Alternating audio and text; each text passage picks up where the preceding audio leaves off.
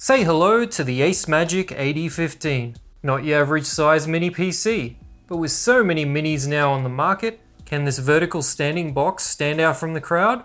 Sort of. There are some things the AD15 does really well, like an industry leading 3 year warranty and low fan noise. So, props for that. The plastic case looks decent and is fine build quality wise. The AD15 sits on a desk no problem thanks to some rubber feet below and would blend in okay in a home or office environment. What's more important is what's inside. But before that, EaseUS Partition Master Professional is a comprehensive storage partitioning app for your PC or server. Resize and extend partitions, clone OS drives, convert MBR to GPT, and even recover lost or broken partitions. Find out more in the video description. The AceMagic AD15 comes with Intel's i7-11800H, which is an 8-core 16-thread CPU with UHD graphics from yesteryear. At 449 US dollars for 16 gigabytes of RAM and a 512 gigabyte SATA SSD, it's asking a lot. So, let's see if it delivers. In the box, you'll find a HDMI cord, manual, and power supply. There's no monitor mount for this one. Opening it up to get to the memory and storage is easy. Two screws, and slide off the panel.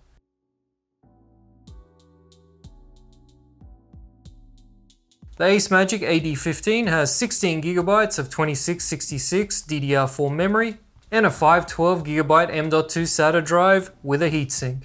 For the price, I think NVMe should have been included. Anyway, it comes with Windows 11 Pro pre-installed. I tested Ubuntu off a USB drive and it was all good if you want to run Linux instead. The USB Type-C on the front is 10 gigabit and supports display out up to 4K 60Hz. There's also a pair of USB 3 5 gigabit ports and an audio jack. On the back is the barrel jack power input, gigabit LAN, dual HDMI 2.0, and another dual USB 3 5 gigabit. Wi-Fi 6 and Bluetooth 5.2 are included. You can run a total of 3 displays on this Mini. Alright, let's see where the Ace Magic AD15 with the i7-11800H falls in the current stack of Minis. In single core, it's near the bottom of the chart just staying ahead of AMD's Ryzen 5800H. That's just over 1% ahead of the 11400H.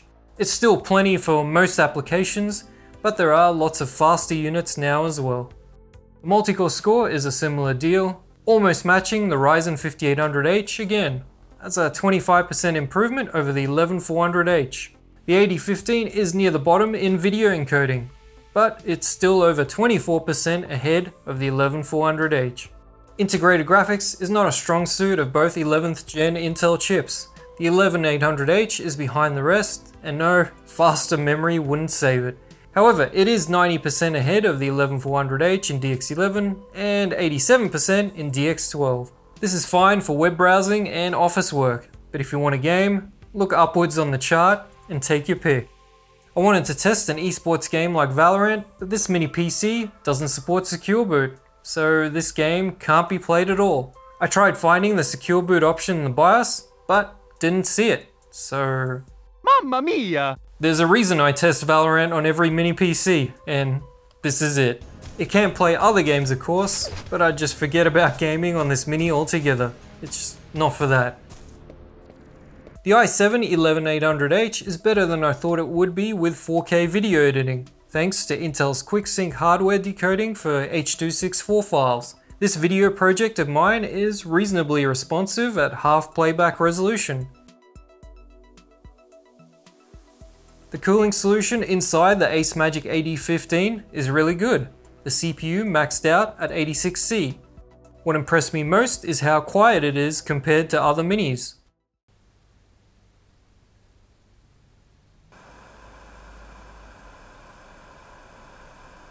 And that low noise level is with a 97 watt max power draw. Idle power draw at 15 watts is also high. Yep, these 11th gen chips aren't very power efficient. The included M.2 SATA drive performs well, mostly maxing out the interface and sequential read and write speeds.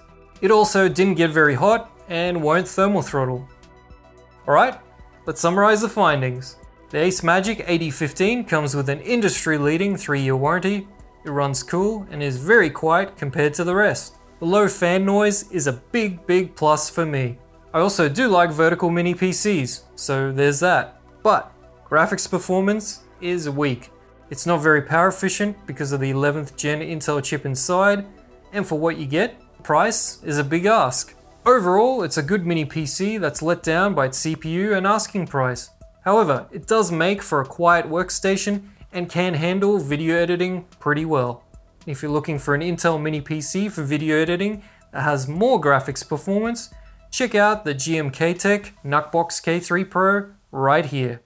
Cheers!